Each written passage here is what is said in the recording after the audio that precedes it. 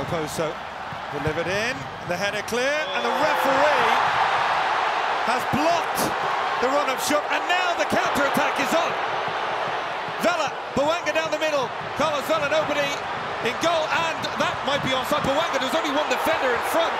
But his frustration is more so because Tim Ford interfered with the play. Interfered with the play initially. So although the goal is called back because of offside, that's not going to damage is done really. Yeah.